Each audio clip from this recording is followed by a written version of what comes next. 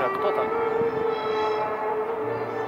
Я вот никогда не задался вопросом, а в честь чего стелс?